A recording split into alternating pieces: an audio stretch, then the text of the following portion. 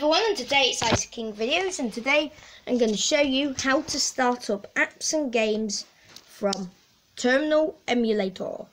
As you can see there is no videos on YouTube about this so I'm the one that's introducing myself. So today I'm going to show you how to load apps and games from Terminal Emulator. No root as you can see if you take a look if you type in SU which is root space. It says not found so that means there's no root on the device. Okay now we're going to do this. To start an app I'm going to start up settings. Without me even going to it or clicking it we're going to load it up in terminal emulator. So now we're going to do this.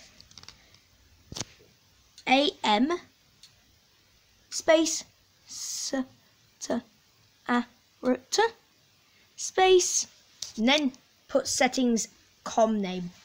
It, the Android's code names. If you want to know code names like this, go on the internet and have a look because those are the code names for Android apps. So to get onto settings, you have to put k dot a n d r o e d dot s e t i Good. So, so that's the package name. Now we're going to start it up by hitting enter. And look at that. You've just loaded settings from Terminal Emulator.